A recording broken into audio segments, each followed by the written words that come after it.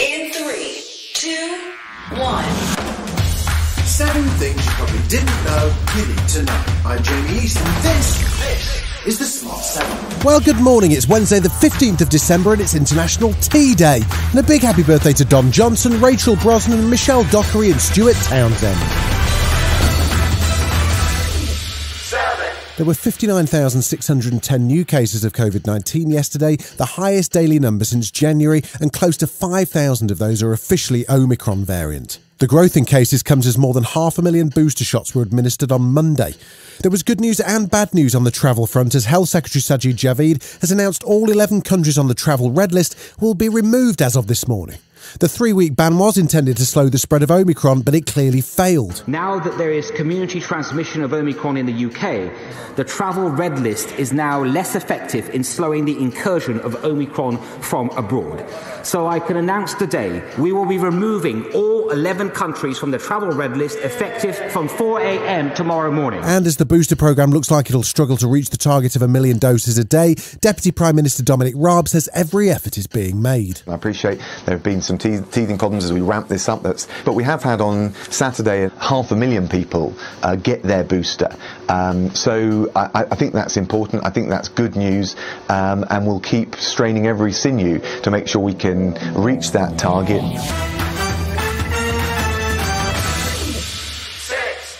Parliament voted on a string of new measures intended to slow the Omicron wave, including face masks and the use of vaccine passports as part of Boris's Plan B.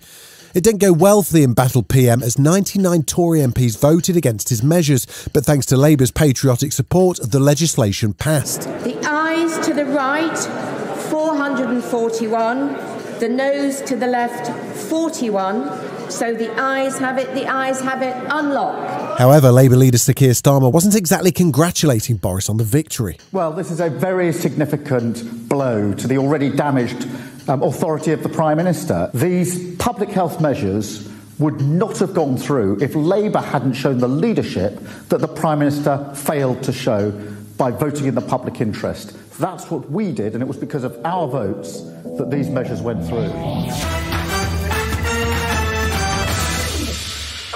In the United States, as the January the 6th committee continues their investigation into the events of the Capitol riot, Donald's former Chief of Staff Mark Meadows has been held in contempt of Congress after he initially cooperated, handed over documents, and then changed his mind. What he handed over has been a treasure trove of evidence against the former president, including a very treasonous PowerPoint and plenty of text messages received on the day of the Capitol riots from well known names. Multiple Fox News hosts knew the president needed to act immediately. They texted Mr. Meadows, and he has turned over those texts. Quote, Mark, the president needs to tell people in the Capitol to go home. This is hurting all of us. He is destroying his legacy, Laura Ingraham wrote.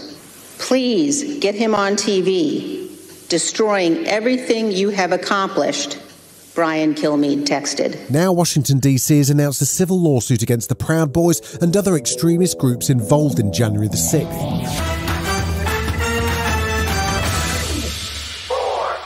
A Bradford court unanimously found Savannah Brockhill guilty of punching 16 month old Star Hobson to death on Tuesday.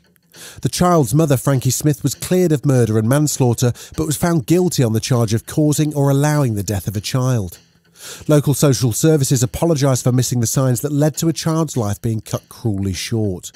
It was an horrific case with details of the injuries inflicted by the amateur boxer and security guard shocking even experienced police detective Chief Superintendent Mark Swift. No child should ever suffer as Star suffered, and particularly not at the hands of those that are supposed to be caring for them and love them the most. I want to pay tribute to my investigation team who worked tirelessly in very difficult situation and very emotional circumstances to bring the evidence together and secure these verdicts today. Still to come on the Smart 7, David Tennant has your Christmas TV sorted and Keanu Reeves gets ready to go viral again. Right after this.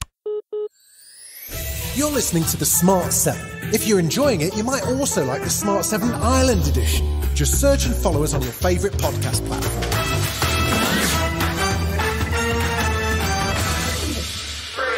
There were two games in the Premier League last night after Man United versus Brentford had to be rescheduled following a COVID outbreak.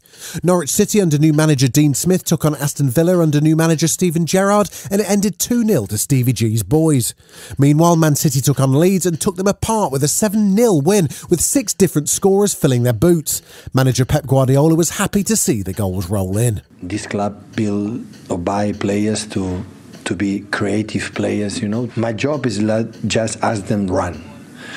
but the rest, the quality of the club to buy these players make the difference. And we didn't score much goals this season, but today was a good, a good yeah, run to, to be close to Liverpool and Chelsea.